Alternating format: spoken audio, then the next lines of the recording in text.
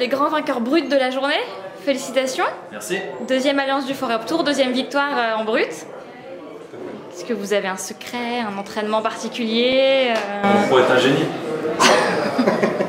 Non, mais on s'est bien encore complété, donc c'était cool. Une bonne journée. euh, On a enchaîné, euh, on a enchaîné les, les tis euh, et ça s'est bien déroulé effectivement. Rien, rien à dire de plus. hein, c'était bien. Très bien. a des petites bêtises, il a, il a réussi à être là quand on l'a fait, et puis sinon, on s'est bien complété. Ouais, vous êtes bien complété.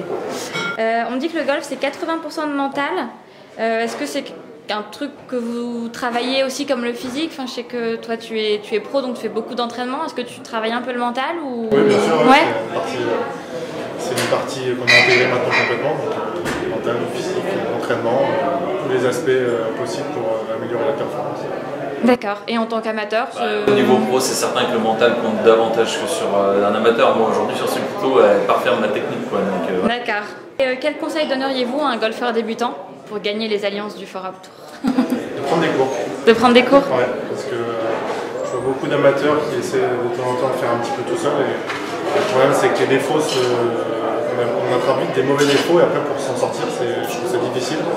Alors qu'un cours de temps en temps, euh, paraît, ça me paraît bien et très intelligent de faire ça.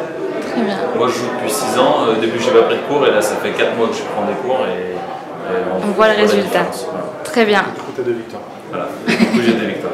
Très bien. Eh ben merci beaucoup. Merci.